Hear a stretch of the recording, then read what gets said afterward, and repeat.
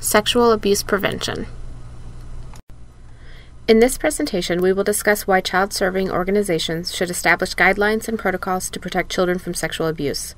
This will include examples of behaviors that could be considered grooming. We will provide information on how to respond to a child that discloses possible sexual abuse and how to make the mandatory report to authorities. Anyone might be a child abuser. Abusers can be found across all demographic groups. They often rely on people being uncomfortable with challenging the inappropriate behavior that is seen. Abusers often seek out organizations that focus on children, making the child a victim of opportunity. Abusers often feel that the child might be sexually interested in them and that the sexual contact causes no harm to the child. It is often difficult to identify an individual as an abuser, especially when he or she is, appears to be a dedicated member of the community and usually in positions of authority over children a coach, a Girl Scout, Boy Scout leader, teachers, adult caregivers, daycare providers, or clergy. Grooming is begun by the abuser as a slow and gradual process.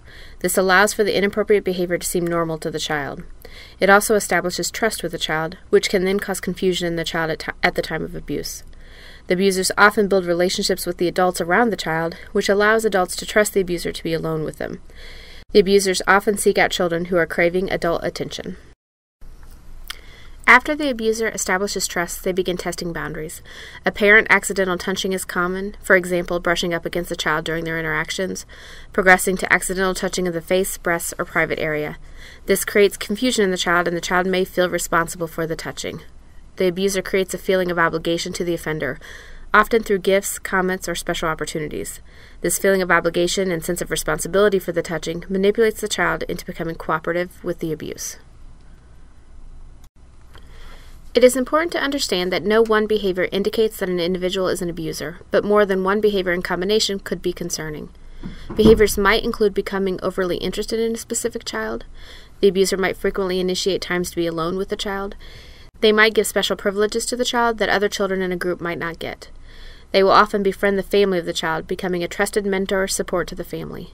This allows them to create opportunities to be alone with the child and times to be with the child outside of the professional relationship. The abuser might intentionally walk in on the child changing clothes, showering, or using the restroom. They might tell sexually explicit jokes or show sexually expl- explicit images, pornography to the child. They may tease the child about genital or breast development. They might ba- bathe or shower with the child. The abuser might share stories about sexual activities, trying to make the child more familiar or comfortable with the sexual behaviors. If it doesn't look or feel right, it probably isn't. It is important for organizations that serve children to develop policies and procedures intended to prevent abuse from occurring. If abuse does occur, the organization must be prepared to respond. Having procedures in place builds public trust with that organization. It also creates accountability and can reduce organization liability. It ensures that proper resources are allocated to working with our children so no one individual has the ability to have easy access to a potential victim. Ultimately, having policies and procedures in place protects the children, the employees, and the volunteers. Dr. Debbie Lindsay, a forensic pediatrician, stated that youth serving organizations need to realize, first of all, that sexual abuse is a pervasive problem. They need to realize that the clientele that they may be serving often will have needs or issues that may make them attractive to individuals who have a propensity to abuse. Policies and protocols protect the children and employees. They also create less risk of misinterpretation of behaviors. It's important to think of what your organization does currently. What is the culture of in your organization regarding abuse and reporting abuse if it were to occur? What are the risks to your organization that would allow abuse to occur or behaviors to be misinterpreted? How does an organization minimize those risks? If you do not have a plan, it is important to develop a multi team member approach to creating a policy. It might be helpful to reach out to similar agencies to seek insight into what policies have been put into place already. Several organizations have realized need for policies after the Jerry Sandusky incident, where abuse occurred but there was no organizational policy in place for reporting. Thus, the abuse continued and further children were victimized. It is important to develop a safety plan within your family. We are taught to develop a safety plan in the case of fire, yet do not think to create a prevention plan for sexual abuse. During sleepovers, it's important to be aware of where the children will be, who will be supervising, and who else might be in the home or show up. There is an increased risk for abuse when a non related male caregiver is in the home. It's also important to be aware of what your child is doing in social media. This can be a starting point for the grooming process. If at any time someone has been accused of sexual abuse, do not leave your child alone with that individual.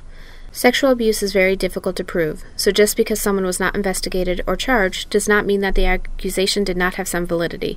Be smart in considering your child's safety. When a child discloses sexual abuse, they are at a vulnerable place.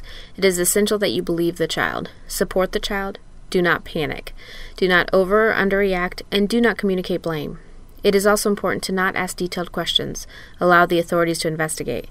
Once you have enough information to su- suspect abuse, you need to make a report. Avoid making promises to the child. You will not be able to guarantee results of an investigation, so it will be important to not give promises that are not able to be fulfilled. Provide support to the child for being able to disclose. Most importantly, it is essential, and the law, that you report the disclosure to authorities for assessment and investigation. If you have any reason to suspect that the child is being sexually abused, you have a legal obligation to report it to the authorities. In order to make a report in the state of Indiana, contact Child Protective Services at 1 800 800 5556. If you have any concerns about the immediate safety of the child, contact your local law enforcement agency or call 911.